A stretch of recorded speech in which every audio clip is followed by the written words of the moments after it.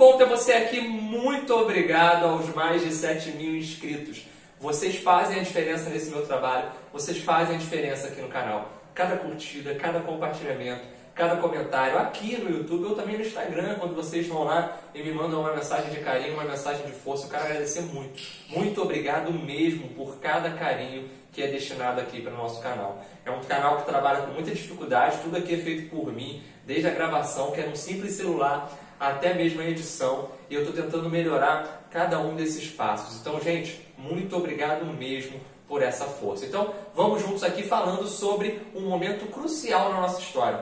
Um momento que a gente vai falar, conhecer como um momento de virada, a entrada do Brasil numa ditadura que é civil-militar. Professor, ditadura é a melhor forma de se referir a esse, a esse, a esse período? Sim, gente é uma ditadura. Ditadura é ditadura aqui ou na China, aqui ou na Venezuela. Ditaduras de direita devem ser recriminadas, ditaduras de esquerda devem ser recriminadas. E não é só porque você muitas vezes colabora mais com a ideia daqueles que estão ali de forma autoritária no poder que você vai dizer que aquilo não era uma ditadura. A nossa ditadura torturou muitas pessoas, perseguiu muitas pessoas, perseguiu muitos militares que foram contra ela, perseguiu muitos professores, pessoas comuns que foram contra ela. E o que vale é que a gente pense esse momento não como somente um momento onde os militares chegaram dando porrada em todo mundo, quebrando a parada toda, a ditadura militar. Não. Foi uma ditadura, nenhum governo, ainda mais uma ditadura, fica 21 anos no poder sem ter um forte diálogo com a sociedade. Pelo menos de alguma forma. Não é só na base do autoritarismo e da pancada. Existe um contexto muito importante ali de movimentação. Então, é injusto falar que foram os militares que tomaram o poder e fizeram essa ditadura. Na verdade, eles chefiaram, claro, nossos cinco presidentes são uh, uh, das Forças Armadas, grande parte da nossa composição ministerial, enfim, é da, da, do Exército Marinho Aeronáutico, mas a gente não pode esquecer que há uma participação civil efetiva. Então, hoje, a maioria dos historiadores trabalham com a ideia de ditadura civil-militar. E professor, então o que acontece? A partir do dia 31 de março foi um golpe? Foi um golpe. Mas existe um conceito a ser trabalhado quando eu falo golpe. Eu não posso falar golpe da boca para fora. Eu preciso te explicar o que é um golpe e por que, que ele se encaixa melhor nesse contexto. E no final a gente vai debater: golpe ou revolução? Você já deve ter escutado em vários locais. Professor, revolução de 64, contra-golpe, ou então ah, o movimento de 64. Então o que a gente vai falar aqui é o que pensa a base historiográfica mais, digamos, avançada, mais profunda. Eu tive a oportunidade de estudar uh, numa universidade onde muita gente dedicou a vida estudando esse período. E nós temos hoje no Brasil, e não só no Brasil, mas fora do Brasil também, grandes é, historiadores, uh, cientistas sociais, enfim, antropólogos que estudam esse contexto, esse período da nossa história e vou falar um pouquinho sobre essa caracterização. Show? É uma continuidade do vídeo passado, onde a gente falou sobre o governo João Goulart, aquele vídeo, o maior vídeo do canal, quase uma hora. Então lá estamos com essa continuidade aqui, falando a partir do 31 de março, como é esse desenho final, essas últimas horas do governo João Goulart. Vamos lá. Ó, tira aquele print esperto, tu sabe das coisas, sei que tu sabe, eu sei que você. Ó, gente, 31 de março de 1964. O Olímpio Mourão Filho, ele era um general, comandante lá em Juiz de Fora. Ele parte com seus recrutas para o Rio de Janeiro para tirar o João Goulart do poder. João Goulart estava no Rio, o Rio não era mais capital, mas ainda existia uma grande base política aqui no Rio. Os presidentes ficavam, na verdade, o João Goulart, naquele contexto, ficava no Palácio Laranjeiras, Palácio Laranjeiras fica a poucos metros de um outro palácio importante no Rio de Janeiro chamado Palácio Guanabara. Palácio Guanabara e Laranjeiras não são a mesma coisa, às vezes a gente aqui no Rio confunde. Então, fica a poucos metros de distância. O Palácio Guanabara hoje, só para contextualizar, ele é a sede oficial do governo do estado do Rio. Naquela época, era a sede oficial do estado da Guanabara. E quem estava lá era o Carlos Lacerda, um inimigo do João Goulart. O João Goulart estava no Palácio Laranjeiras, a poucos metros. O Palácio Laranjeiras hoje é a residência oficial dos governadores do Rio. Naquela época, era um local de onde o presidente despachava aqui no Rio. É, beleza, ele estava ali. E qual é a ideia do Mourão? O Mourão, que já tinha participado do Plano Cohen lá em 1937, ele parte direto, direto, direto de Juiz de Fora. É, participou lá na Era Vargas, o Plano Cohen, né? enfim, aquele plano que foi uma fantasiosa ameaça comunista. Enfim, e ele parte de Juiz de Fora e vem para o Rio pela uh, BR-040, né? Caminhando ali, vai só descer a serra, vem por Petrópolis, passou por Caxias, já está no Rio. Pá. tranquilo. É perto, mas demora. Ele saiu na manhã do dia 31 de março, é quando se inicia esse movimento. Mas o que faz o, o, o Olímpio Mourão Filho começar esse movimento? Na verdade, já estava tudo arquitetado. Como eu falei para vocês, foi um golpe preparado não por setores somente militares. Tem uma participação maciça de militares, mas também temos os nossos grupos empresariais. A Fiesp em São Paulo tem uma marca importante. Os norte-americanos estão desde 62 desestabilizando o governo João Goulart. Colocaram mais ou menos 5 milhões de dólares nas campanhas para governadores e, e, e, parlamentares em 62 para desestabilizar o João Goulart. Só que uh, não deu certo. Uma outra coisa importante, nós temos uma classe média, uma galera mais conservadora ligada às entidades religiosas. Nós temos uma elite no campo, uma elite nas cidades, que também está descontente com os rumos do governo João Goulart. O governo João Goulart foi confuso. O governo João Goulart tentou passar as reformas de base. É, havia uma polarização muito grande, o mundo vivia a Guerra Fria, isso é muito importante que a gente pense. Então, tudo isso foi melhor debatido no vídeo passado. O que interessa aqui é que mesmo a galera que já sabia que ia rolar um golpe, o Castelo Branco, né, desde quando ele era chefe do Estado-Maior, ele já sabia que ia rolar um golpe por aqui, que estava tudo arquitetado. Né? Os norte-americanos tinham uma influência no Brasil muito forte através de um embaixador chamado Lincoln Gordon. O Lincoln Gordon fez grandes diálogos desde a época do Kennedy e depois com o Lyndon Johnson. Kennedy foi assassinado no final de 63, entrou o Lyndon Johnson e esse diálogo continuou. Uma grande é, é, é, força para que o Brasil não se torne Cuba. Né? Esse era o medo norte-americano, que o Brasil se esquerdizasse. Uh, e como eu falei, há uma forçação de barra achar que João Goulart era esse cara que esquerdizar o Brasil. Na verdade, estava até longe disso. Mas a grande estrutura que está sendo montada naquele contexto é uma estrutura muito complexa. Então, a galera está movimentando e está batendo no João Goulart constantemente. Se você pegar os jornais da época, vai aparecer que o João Goulart era, é era o impopular. Né? Todo mundo odiava o João Goulart. O João Goulart era o grande odiado do Brasil. Só que isso é muito mais uma interpretação dos jornais, que também eram contra o João Goulart, do que próprios jornais, rádio, TV, do que propriamente da população, da massa mais trabalhadora.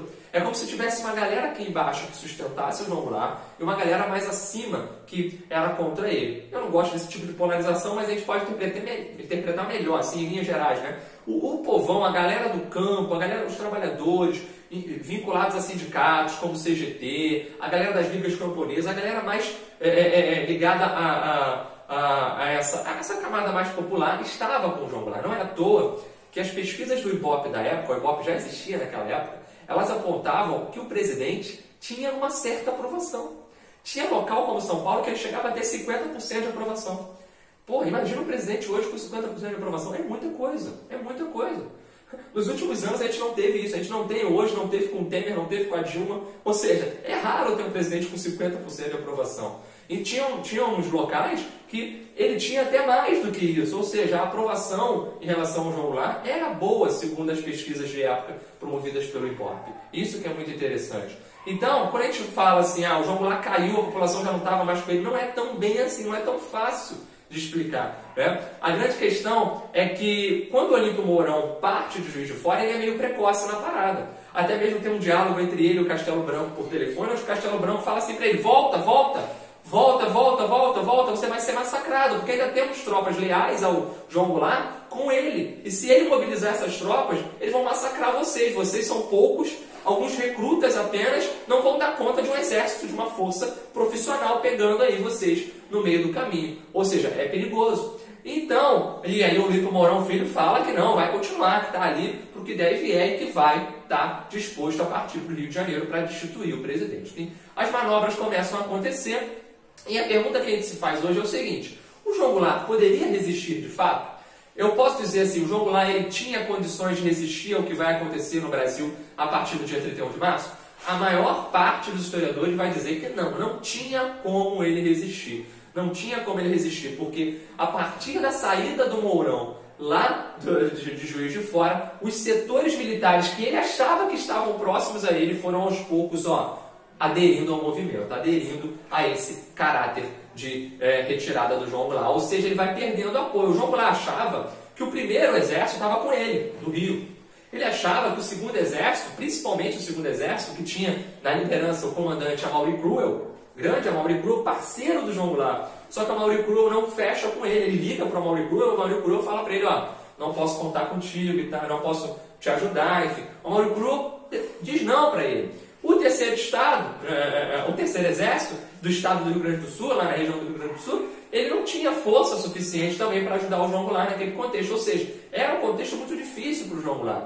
No máximo, ele tinha um apoio dos militares um pouco na Vila Militar, um pouquinho ali na base de Santa Cruz, no Rio de Janeiro, mas em si, ali, a sua base, o Cândido Aragão, o Cândido Aragão um almirante, né, um vice-almirante da Marinha, que tinha os fuzileiros navais com ele, também poderia ajudar o João Goulart nesse contexto. Só que era muito pouco frente a essas forças que estavam vindo contra ele, com muita, com muita, com muita é, é, é firmeza para retirá-lo do poder. Ou seja, era difícil a situação de João Goulart, ele não tinha muito o que fazer naquele contexto. Ainda mais quando ele descobre, através de Santiago Dantas, Santiago Dantas que tinha sido ministro dele, foi encontrar o, o João Goulart no Palácio Laranjeiras e falou para ele o seguinte, olha João Goulart, a parada é mais profunda do que se pensa. Lá, o Mourão saiu de Juiz de Fora com o apoio do governador de Minas, você já deve saber. O João Goulart já sabia. O Magalhães Pinto tinha apoiado essa vinda do, do, do né, o grande opositor do, do, João Goulart tinha apoiado essa vinda, enfim, dado todo, toda a cobertura, todo o apoio ali ao Olímpio Mourão Filho. Só que tem um detalhe muito importante. Ele descobriu, a partir, o Santiago Dantas descobriu, a partir de uma conversa com Afonso Arinos, que trabalhava com o Magalhães Pinto, que os norte-americanos estavam na jogada. E aí isso mudou a história também dessa resistência, dessa possível resistência. Então, primeiro, o João Goulart não tinha o apoio popular que esperava ter. Popular não, militar, melhor dizendo, que esperava ter. Inclusive, ele chega a mandar um destacamento lá para interceptar o Mourão e a galera vai lá e, e fecha com o Mourão, ou seja, ele não tinha o apoio que ele esperava ter. Uh, nem mesmo do seu parceiro, do seu compadre lá, o Amaury Cruel no segundo exército. Mas, mas a gente tem que destacar também essa importante participação norte-americana, não em termos de ação, mas em termos de apoio para uma possível ação. Ou seja, norte-americanos posicionaram é, é, é, suas forças no litoral brasileiro a partir de uma operação chamada Operação Brother Sun. Tá? Essa é a grande Operação Brother Sun. Eles destacam uma série de navios que estão no Caribe e partem aqui para a América do Sul e aqui eles se posicionam preparados para uma possível intervenção. Se o Goulart resistir, se tiver força leal ao Goulart que resista, a gente vai invadir. Vem um porta-aviões, vem contra-torpedeiro, vem quatro petroleiros, vem gás lacrimogêneo para conter multidão, ou seja, vem preparado. Petroleiro para se tiver greve, para se a galera não tiver acesso a, a esses combustíveis, enfim, poder é, é, é, abastecer uma resistência contra resistência, né? esse apoio ao golpe. Quando o João Goulart sabe disso, uh, ele sabe que não tem mais como resistir. E aí ele toma a decisão, é, é, é, inclusive é, uma decisão até honrada, uma decisão correta naquele sentido, que evitou o derramamento de sangue dele, de seus parceiros que ainda estavam com ele, por exemplo, o Cândido Aragão, ele era é, vice-almirante da Marinha e ele, ele, tinha um corpo de fuzileiros navais com ele e esses fuzileiros navais se posicionaram próximos ao Palácio Guanabara. O Palácio Guanabara, onde estava o Carlos Lacerda, seria invadido por, esses fuzileiros navais caso João Goulart dissesse sim, desse o aval. Porque na visão do Cândido Aragão, de tirar o Carlos Lacerda do poder era muito importante, porque dessa forma você quebrava uma das, uma das uh, mãos ali desse golpe que estava sendo promovido. Né? Como eu falei no vídeo passado, o João Goulart não tinha o apoio dos três principais governadores do Brasil. Nem o Amaury Cruel, nem o Amaury Cruel, Cruel do Segundo Exército, nem o Ademar de Barros em São Paulo, nem o Magalhães Pinto em Minas, nem o Carlos Lacerda na Guanabara, ou seja, ficava complicado. Então, os fuzileiros ficam próximos ali ao Palácio Guanabara, Palácio Guanabara cheio de barricada que o Lacerda mandou colocar, alto-falante, polícia militar e polícia civil na porta, só que não ia conseguir resistir a um ataque dos fuzileiros. Os fuzileiros passariam por cima, e, é, era clássico, e não tinha, não tinha armamento possível para resistir contra um ataque é, dessas forças do Cândido Aragão, mas mesmo assim, lá dentro, o Carlos Lacerda provocava o Cândido Aragão. Tem um áudio muito famoso aí pela internet que você encontra, ele falando, Aragão, vem aqui que eu te mato com meu revólver, enfim. Então, esse é o clima de tensão entre o dia 31 e o dia 1 no dia 1 na parte da tarde, o João Goulart decide deixar o Rio de Janeiro e partir para Brasília. Por que, que ele foi para Brasília? Primeiro, para encontrar ainda com alguns parceiros e também pegar um documento, documentos pessoais. Né? Ele sabia que a casa tinha caído, ele, não, ele já estava dedicado a não. Né, já estava dedicado, né, dedicado, decidido, melhor dizendo, já estava decidido a não resistir ele parte, vai para o Santos Dumont, no aeroporto, vai para Brasília. Em Brasília, ele se encontra com Darcy Ribeiro, que já tinha lá uma série de trabalhadores prontos a resistir. Ele ainda tinha um pouco de esperança de que uh, o golpe pudesse ser barrado através de uma via um pouco mais democrática e não de violência. Ele fala para o Darcy Ribeiro que não vai resistir em armas, não vai colocar esses trabalhadores para lutar por ele e que ele vai fazer um manifesto para ser lido na rádio. Só que nenhuma rádio lê esse manifesto dele. E ele fica ainda mais perdido, ainda mais isolado. Ele decide, na madrugada do dia 1 para o dia 2 de abril, viajar para Porto Alegre. Lá em Porto Alegre, ele iria se reunir com o Brizola e tentar ver o que fazer. O Brizola recebe ele no aeroporto em Porto Alegre, tem o general Ladário também, que comandava o terceiro exército naquela época. E olha, eles conversam com o Jogo Goulart e falam, Goulart, eu acho que dá para resistir, mas não é por muito tempo. No máximo a gente resiste até você fugir, porque a situação vai ser muito difícil. Inclusive, alguns treinadores brincam, falam que o Ladário falou para ele assim, ó, dá para ganhar, com milagre dá para ganhar. Ou seja, não é muito bom esse tipo de frase no momento tenso, né? Um milagre dá para ganhar. Uh, então, é uma questão muito complexa nesse momento. Enquanto ele está viajando para Porto Alegre, o Congresso, através do senador, do presidente do Senado, Auro de Moura Andrade, convoca uma, uma, uma sessão extraordinária conjunta, Câmara de Deputados e senadores, é, Senado e Câmara de Deputados juntos, e ele faz uma declaração unilateral é, onde ele diz que o presidente da República abandonou o país, deixou a nação acéfala, não sabe onde está, uh, ele, ele fugiu e ele faz uma frase bem famosa entre todas as outras. Ele diz: declaro vaga a presidência da República. Né? Ou seja, o Congresso declara vaga a presidência da República. Isso é a madrugada do dia 2. Essa é a base de abertura para o que vai ser a consolidação do golpe. Então, como eu falei para vocês, não foi um golpe somente militar, foi um golpe civil-militar. É isso que a gente tem que entender. O Congresso apoiou o STF, o outro braço dos três poderes, também é, se calou. O Álvaro Ribeiro, né, o Álvaro Ribeiro da Costa, que era o presidente do STF, ele simplesmente faz um, uma colaboração importante não diretamente manobrando o golpe, mas se calando, inclusive vendo a cerimônia de posse do Ranieri Mazzilli. O Ranieri Mazzilli, que era o presidente da Câmara de Deputados, que vai assumir o poder a partir do dia 2, porque no dia 2 de abril nós temos mais presidentes, o Congresso de fato destituiu ele, e no dia 2 de abril o é, Ranieri Mazzilli, presidente dos deputados, da Deputados, assume interinamente o poder. Ainda no dia 2 é formado o Comando Supremo da Revolução, o que é o Comando Supremo da Revolução? Esse grupo que estava fazendo o golpe, ele simplesmente se reúne em um de cada força, né? um do Exército, um da Marinha, um da Aeronáutica. Do Exército nós temos o Costa e Silva, da Marinha o Rademacher, que era um, um importante general também, e da Aeronáutica, rapaz, da Aeronáutica Co Correio Melo, da Aeronáutica era o Correio Melo, da Aeronáutica Correio, Correio e Melo, então é isso mesmo, é o Costa Silva, o Rademacher e o Correia Melo, eles são os generais que vão comandar esse comando supremo da Revolução. Né? Só para lembrar, o Amaury Cruel, lá em São Paulo, é, inclusive mandou tropas pela Dutra para também tomarem a capital, a antiga capital, né? A capital já tinha sido Brasília, mas o Rio de Janeiro ainda era um centro de decisão importante. Eles vêm pela Dutra, aí o Médici bota uma galera, uns cadetes da AMAN também para se encontrar em Resende, ou seja, o Médici controlava a AMAN. Então a galera vem caminhando para o Rio de Janeiro, enquanto também o Mourão está descendo lá por Petrópolis. Os caçadores em Petrópolis encontram eles e vão lá, né? os caçadores é um destacamento também, é importante, do Exército Brasileiro naquele contexto, enfim. Eles vêm descendo e há uma grande tomada do Rio de Janeiro, que é simbólica, o presidente já não está mais lá, o, no Brasil inteiro começam perseguições a opositores, por exemplo, o governador de Pernambuco, Miguel Arraes, ele é perseguido, né? o Miguel Arraes é tirado, é preso né? e tirado do poder. O cara eleito foi preso do nada. Né? O Miguel Arraes, que tinha uma ligação com o João Goulart, ele era do PSB, tinha uma ligação com o João Goulart, enfim, é um contexto bem complexo. O é, Estados Unidos da América, eles aceitam esse, o Ranieri Mazzilli, eles, eles reconhecem esse novo governo, claro, eles estavam ali, isso é um detalhe importante. O que acontece? O, o, olha só como é que foi tudo bem desenhado. eu, se os Estados Unidos fizessem uma intervenção direta aqui, era necessário justificar internacionalmente isso. E como seria essa intervenção? Como o Olímpio Mourão Filho partiu de Juiz de Fora em direção ao Rio de Janeiro, o que, que uh, o, o Magalhães Pinto achava?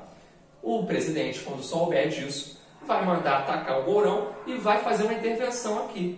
Se ele fizer intervenção aqui no meu estado, eu vou pedir ajuda internacional. Eu vou pedir estado de beligerância, que é um, um, um dispositivo onde eu peço apoio internacional. E quando eu pedi o apoio internacional, os norte-americanos já estão lá, opa, estou aqui, já estou na beirinha, vamos embora? E aí eles me ajudam. Ou seja, estava tudo arquitetado caso João Goulart resistisse. Então, na verdade, falar que os norte-americanos fizeram o golpe é um, digamos, exagero. Não digamos exagero, é correto mas não é tão correto que a gente esquece as personalidades importantes daqui. O Castelo Branco, né, os nossos próprios golpistas, digamos, né, o, o, o Castelo Branco teve uma participação efetiva, o Costa Silva, o próprio Médici, né, ali naquele contexto também, enfim, muitos personagens tiveram, além do Mourão, além é, do Carlos Lacerda, do Ademar de Barros, do Mauri Cruz, do, do Magalhães Pinto, esses são só os personagens mais básicos, né? Depois a gente vai ter o Golbery do Couto. O Golbery ele vai ser um, um, um, digamos, um teórico dessa, dessa ditadura que vai ser implantada. E antes mesmo do Castelo Branco ser eleito como primeiro presidente, ele é eleito indiretamente, o próprio Congresso elege ele no dia 11 de abril. No dia 9 de abril, dois dias antes, já tinha sido lançado pelo Comando Supremo da Revolução um primeiro ato institucional desse regime militar, que é o ato institucional número 1. Claro, esse é o primeiro, é o número 1. Né? Esse ato institucional vai dar, a gente vai falar um vídeo específico sobre atos institucionais, e ele vai dar o direito ao, ao, a esse novo governo a interferir na Constituição, a caçar mandatos, a perseguir é, é, opositores, demitir pessoas de cargos públicos, enfim, vai dar um amplo direito. E por que, que se usa o nome revolução? Por que, que o comando foi comando, comando supremo da revolução? É porque revolução é coisa boa e golpe é coisa ruim? Não necessariamente, gente. Nem todo golpe ele pode ser visto como algo ruim. É que hoje, assim, em linhas gerais, o senso comum falar golpe, golpe é coisa ruim. Mas não necessariamente o golpe é coisa ruim. Nós já tivemos golpes ao longo da história que tiraram regimes ruins do poder. Entende? Ou seja, golpes já foram dados para evitar coisas piores. Entende? Ou seja, golpe não é prontamente uma palavra que significa algo ruim. Revolução não é prontamente algo que signifique uma coisa boa, né? E nem isso, ó, golpe é para quem é de direita, né? De quem fez de direita, então é golpe. Fez de esquerda, então é revolução. Não, não tem nada a ver isso. Na verdade, a relação é muito mais profunda e muito mais complexa. Golpe, ele em linhas gerais, é uma reorganização da instância de poder onde pessoas já eram poderosas naquele contexto.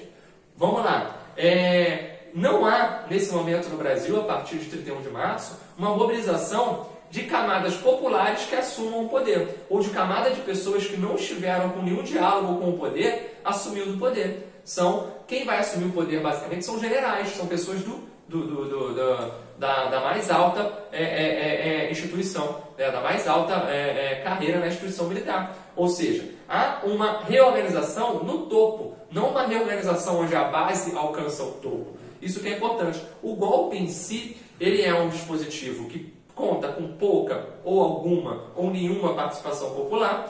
É, é um dispositivo que rompe com a, com o, o, a, a institucionalidade do governo anterior e também que não promove grandes mudanças socioeconômicas, grandes transformações, profundas transformações socioeconômicas. Isso que é importante destacar. Nenhum golpe, após ele, há uma grande transformação social. É como se na escala do poder só houvesse o quê? Uma reorganização. Sai um, entra outro. Mas esse outro que entrou também era poderoso. Só não era tanto quanto esse. Então é isso que a gente está vendo no Brasil a partir de 64. Não é propriamente um sistema que vai reformular nossa sociedade, colocar, por exemplo, pessoas que nunca estiveram na base de poder lá em cima. Não, não é isso que acontece no Brasil. E por isso estritamente por isso, é um golpe.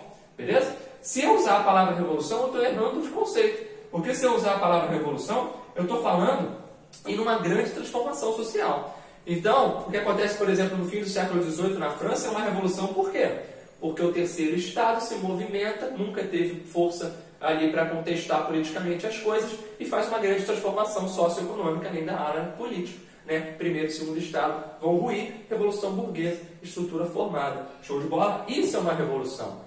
Então, mas por que, que se usava o termo revolução? É porque não se gostava de golpe naquela época? Ah, até que não, gente. O termo revolução é usado na época por quem fez esse movimento justamente por quê? Justamente porque esse termo daria um melhor, digamos, é, uma melhor justificativa para as ações que estavam sendo feitas.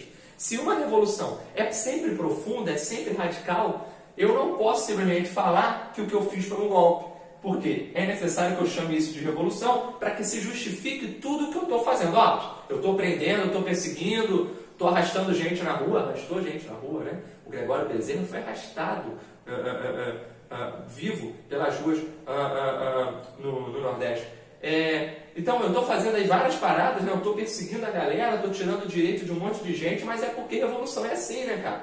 Evolução é dessa forma, não tem essa parada, né? Não tem, ó, não tem como fazer omelete sem quebrar ovo, né? Essa frase é famosa, a gente vai falar dela. Então, ou seja, não tem, cara, eu tenho que aprofundar essa parada. Ou seja, isso é uma revolução, eu estou mudando a casa toda. Eu não estou só varrendo assim, aos pouquinhos, eu estou transformando essa casa. Eu estou fazendo uma revolução. E não foi propriamente isso que aconteceu no Brasil. A corrupção não acabou. É, é, as forças políticas que mandam na nossa estrutura não acabaram. Ou seja, a estrutura ficou bem próxima. Show? Espero que você tenha gostado. Na ah, só um detalhe importante, tá? Muito importante isso aqui. Gente, 99% da galera que apoia esse golpe em 64 não sabia que a gente ia entrar numa ditadura de 21 anos. Não sabia. Então, esse é o risco de uma intervenção militar. A ideia era que os militares colocassem ordem na casa em 65 eleições, em janeiro de 66 o novo presidente eleito assumisse. Só que não foi assim. Ou seja, a galera pede intervenção e é a primeira a sofrer com essa intervenção. Carlos Lacerda, Ulisses Guimarães, entidades católicas, Ordem dos Advogados do Brasil sofre muito, o próprio STF. O STF foi um enfeite institucional do movimento. Ele foi modificado, a gente vai falar sobre isso. Ou seja, movimentos, o próprio Congresso, ou seja, pessoas que participaram diretamente é, ou apoiando de longe ou de fato colocando a mão na massa vão sofrer as consequências dessa ditadura que vai ser implantada. Os jornais é muito engraçado. Tu pega os jornais do dia 31, tu pega os jornais do dia 15, 16, depois da posse do, do, do, Castelo Branco, tu já começa a ver os jornais, opa, estamos caminhando para uma situação complexa. E 15 dias depois, mais ou menos, a galera já está mudando de ideia. Porque está percebendo que, na verdade, essa ideia de somente intervenção para evitar a implantação do comunismo foi uma justificativa para que se colocasse em prática uma ditadura muito dura com apoio norte-americano. Não esqueça disso. Os norte-americanos apoiaram não só aqui no Brasil, mas em toda a América Latina, governos ditatoriais, governos autoritários, para tanto implantando eles ou apoiando alguns que já existiam, como por exemplo o Paraguai, o Paraguai é o caso clássico, o Alfredo Stroessner já está lá desde 1954, mas depois os norte-americanos ajudam, né, apoiam. Então, é, esse movimento todo é muito importante porque os norte-americanos, em meio à Guerra Fria, vão fazer a América Latina do seu quintal, ainda mais depois que a Revolução Cubana acontece. Espero que você tenha gostado. Seu like é fundamental. Tamo junto!